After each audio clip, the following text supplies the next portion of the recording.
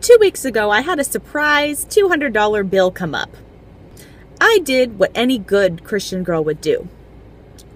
I worried. I worried all day.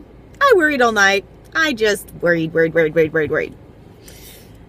I ended up getting a random $200 check in the mail that covered it.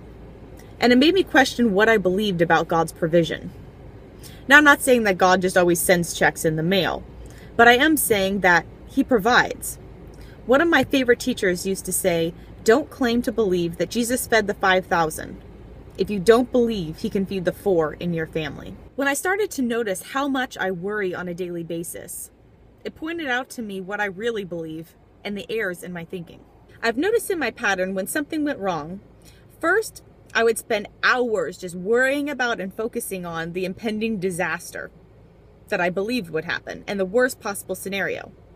Then I would sit for hours just in a mantra, repeating myself over and over again, thinking that the more I repeated myself, the better chance I had that God might take notice or pay attention. Then I would go find somebody who is more spiritual than me and see if they could pray for me to try to get leverage on God. So, what's wrong with all this?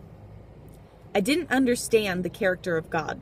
If God already paid for everything on the cross, if He is love and compassion, if He is capable and willing, why would I worry?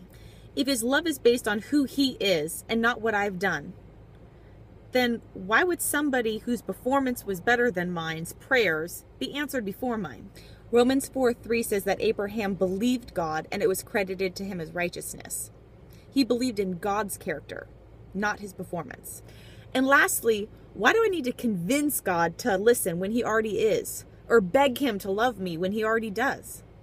In a sense, isn't begging for these things almost showing a lack of faith in his character? I'm not saying anything against praying without ceasing or praying with your brothers. These are all important. What I'm talking about is the attitude behind why we're doing these things. I should pray without ceasing, but I should pray a prayer of thanksgiving for what He's already accomplished in and through us on the cross, from a state of thanksgiving, not a state of worry. Worry comes from doubting the character of God.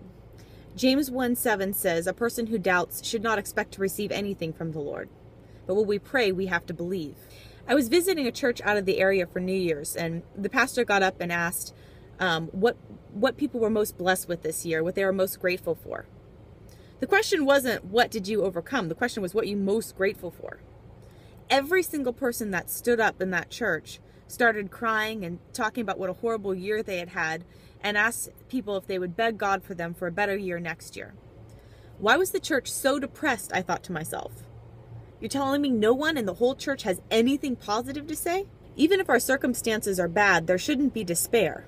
Despair comes from a lack of hope.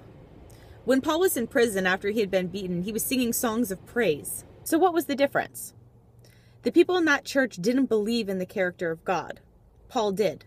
The people lived in fear that God might not come through for them.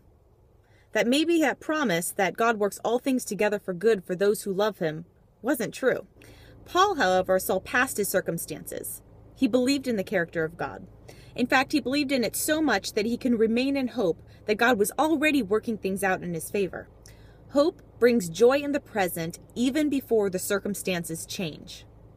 Our hope and faith in God should cause us to live in joy. If we're not in joy, we should question what we really believe about God and His character. Now, what not to do is go add guilt onto your depression.